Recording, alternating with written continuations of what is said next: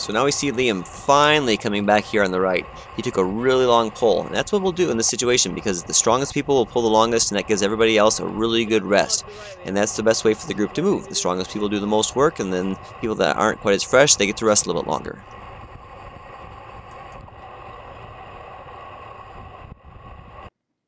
Now we're going to move on to climbing. We're going to do a lot of climbing at this camp, and a lot of us aren't really used to doing a lot of climbing. So there's two types of climbs. There's the relatively short power climbs, and then there's the really long climbs.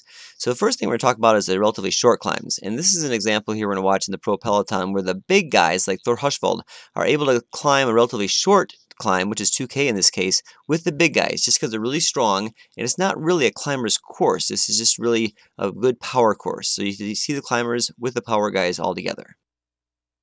Hincapie has come back to the front. You can see now he's uh, giving this last little bit. He's just about to crest that climb. He will go downhill for a fraction. Bradley Wiggins there in the white jersey with the two bands across the middle. He's ideally positioned.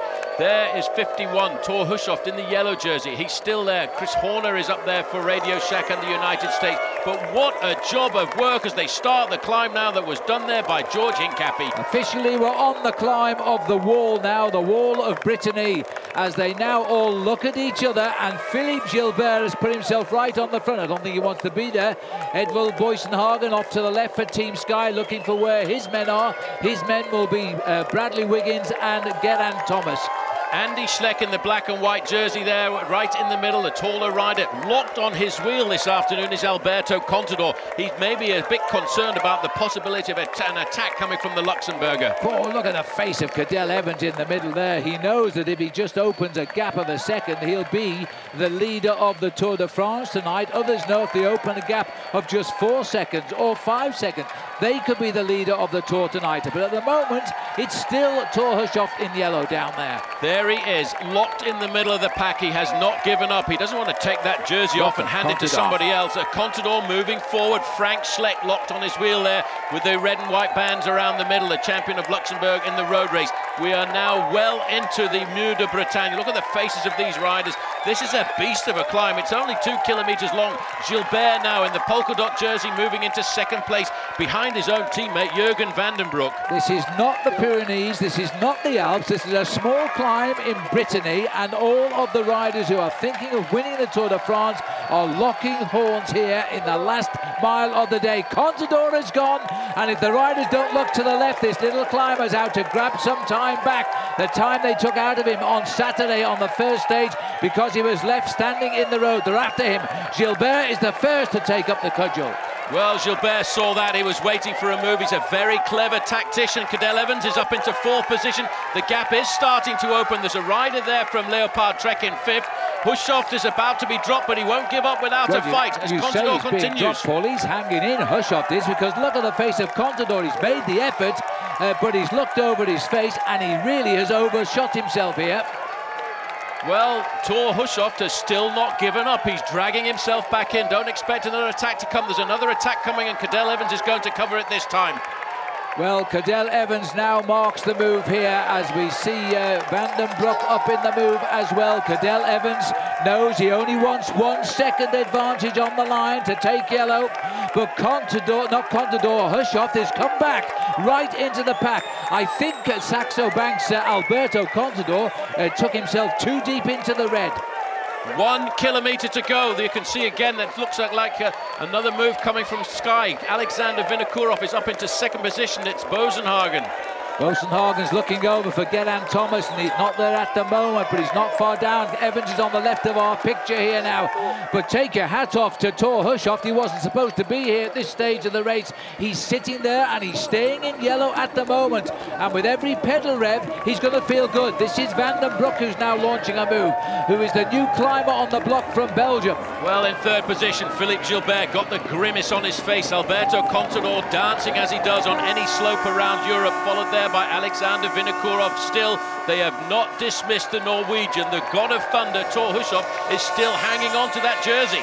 Well, as Van den Broeck goes again at 500 metres, this is looking extremely good for Philippe Gilbert at the moment. Down to 400 metres now. Evans is into fourth. And Contador has dropped back. He's really hurt himself on this climb, Contador, and so far has got nothing to show for it. Philippe Gilbert is now locked in on his 29th birthday. He looked over just as Contador went through. Cadel Evans is now taking his chance at Contador. Contador, Evans is now coming. A one second gap means yellow. They've got to jump onto his back wheel. Vinokurov is coming up. Boasson Hagen grits his teeth. Gilbert is down in the fourth place but you take your hat off to the yellow jersey of the Tour de France because I think Hushovd will be in yellow tonight. But Evans has got the victory, but Contador thinks he's got it. Well, in the photo finish there, it was very close. Uh, Bradley Wiggins lost a couple of seconds there, quite possibly with uh, Rojas coming across the line. But it looked to me as if the lunge for the line might just have given the victory there to Alberto Contador. But what a ride by Hushovd. He's made the experts look completely silly, I think, because that was superb by the God of Thunder. He's kept his yellow jersey. Let's have a look now and see if Cadel Evans was denied the win on the line by Alberto Contador. Cadel Evans is leading out. There you can see the challenge coming from Contador, but is it a little bit too late? Oh, well, oh dear.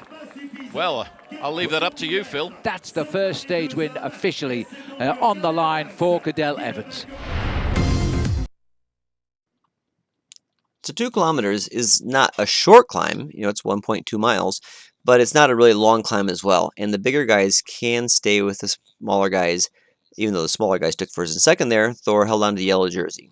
Now, this next series of footage is something from the 1988 Tour de France, which many of you have seen if you've been in this camp before. But it really shows that climbing at your own pace is the best way to climb a long climb. And you'll see guys that try to climb with the leaders and get dropped, and guys who climb at their own pace and end up coming back and doing really well. So take a look and watch this, and you'll really understand why climbing at your own pace is the best way to go. As a car for the Spanish flyer Pedro Delgado. Free from the pack for the first time, he and Steven Rooks, the man who has taken on the leadership of the PDM team in the absence of American Greg LeMond, are being drawn towards Alpe d'Huez the last rendezvous of a vicious day.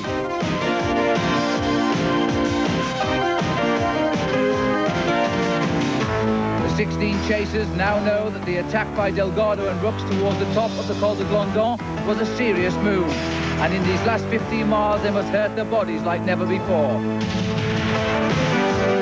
This first full day in the heart of the French Alps has enabled Delgado to unleash the frustration of more than a thousand miles spent pedaling over flatter roads.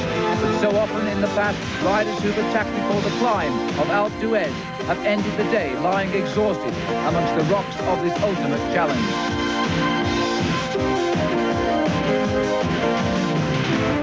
Andy Hampsten and his 7-Eleven team have also done well, but there's more urgency now as the d'Huez approaches. Team manager Mike Neel keeps both of his men informed. He has two cars in a rapidly dwindling deck.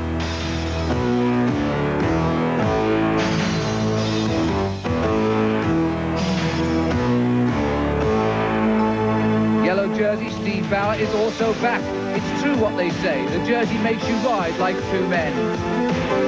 But these two, helped by a tailwind along the valley road, show no signs of slowing down.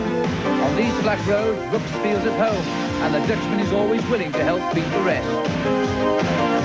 Pedro Delgado sold newspapers to buy his first bike, and he's talked all year of only one thing, victory in the Tour de France. It's no secret anymore. No Spaniard has won the Tour since 1973, and only two have succeeded since the race began in 1903.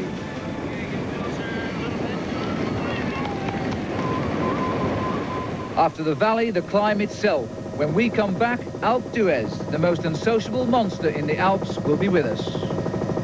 Climb to Alpe d'Huez, the riders of the Tour de France have been on the road for over six hours, and these are the two men who have so far destroyed the field. Pedro Delgado in blue and Steven Rooks, all that remains now is the nine miles climb to the ski stop of Alpe d'Huez. American Andy Hampsten still refuses to concede defeat, and along the valley he makes ready for the final assault. The final climb will decide many things. Fabio Parra, Luis Herrera, two Colombians always refusing to give up. Raul Alcala, and the year of Canada's Steve Bauer, all in the chase group.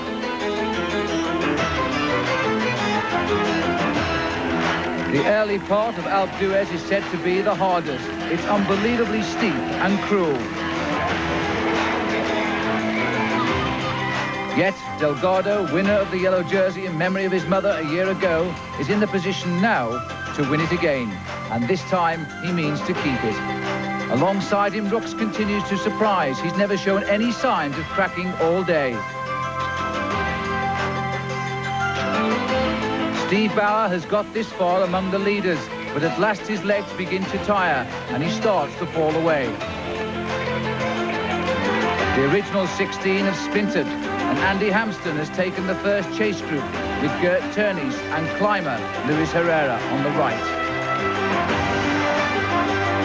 Two leaders ride almost directly above the chasers now, who are beginning at last to close the gap as the finish comes closer. Of them both, Rooks, his face a poker-like expression, looks the best of them. Across the valley, their lead was three minutes. On the climb, it's down to just one.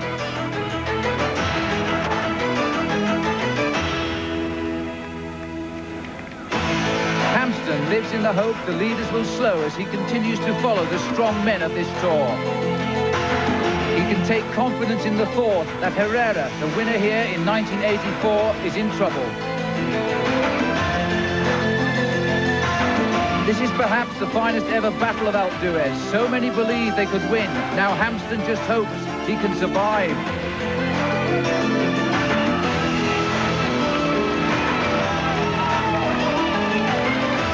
How much longer will the pain last? Delgado seems to be tiring, but it looks as though Hampsten is in even more difficulty as his arms, back and legs all ache together. Hampsten tries to shut the thought of pain away as he has shut the gap to just 30 seconds. Here he holds the wheels of Theunisse and the pace setter, the Spaniard Pino. Up front for the second year, Delgado is being annoyed by a rider wearing number 11. Last year it was Stephen Roche, now it's Steven Rooks. Hampsten, with still six miles to climb, holds on, but cannot contribute to the chase. The American has raced to his limit.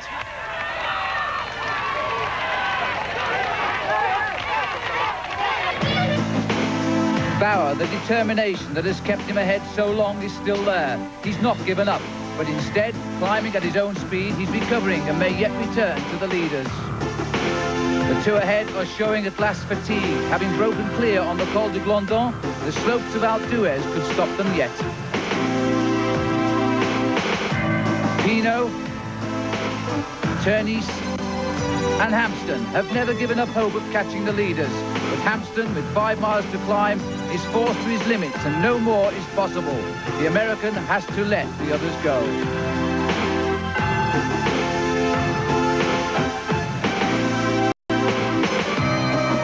Now it's two against two as the race turns towards the finish.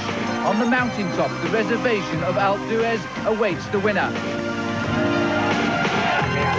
A friendly word of encouragement for Hampsten to keep up. He'll need more than that.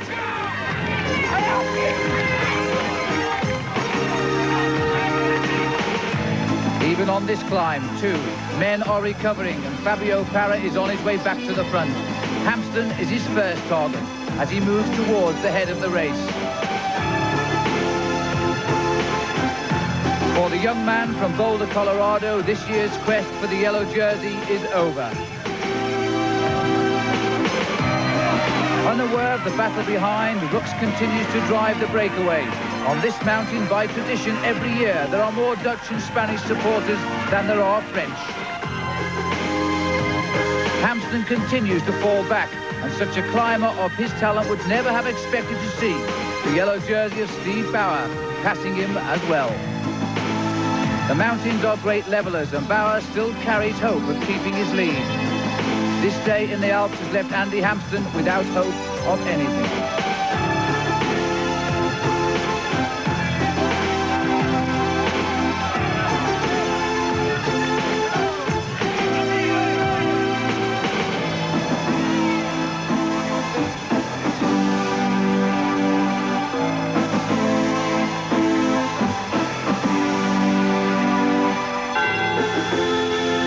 Has joined Theunisse, and now the next target are the leaders themselves. There's still time to win.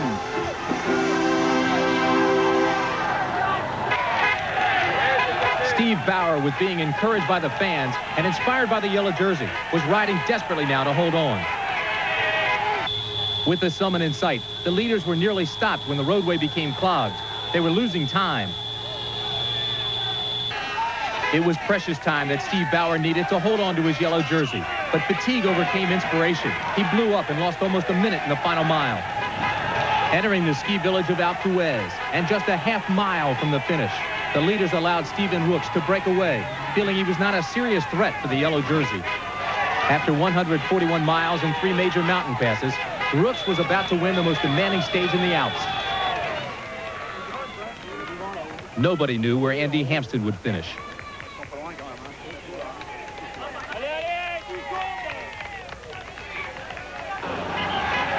For the man who was slated to merely assist Greg LeMond on the PDM team, Rooks was a surprising winner in Alpe d'Huez. Or was he? Of the 12 times the Tour de France has come to this resort, this marked the sixth victory by a Dutchman.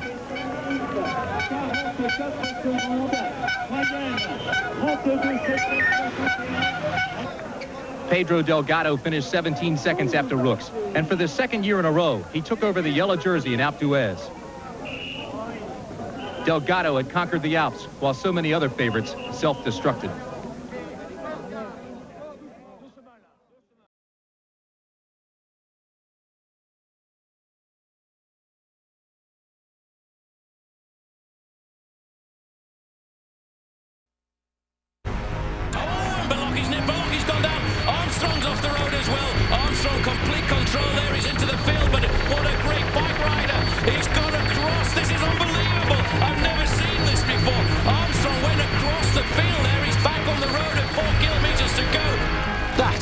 Amount of rubber the riders have on the ground, and sometimes at speeds in excess of 100 kilometres an hour. They are, by necessity, pushing it to the absolute limit.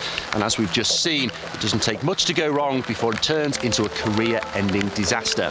Well, that's what happened to Joseba Beloki, and it happened on this very corner. In fact, we've seen no less than 12 riders in this year's race succumb to serious, serious incidents because of downhill disasters. Descending is something habitually discussed as a bolt on to the major topics of who can climb and who can time trial.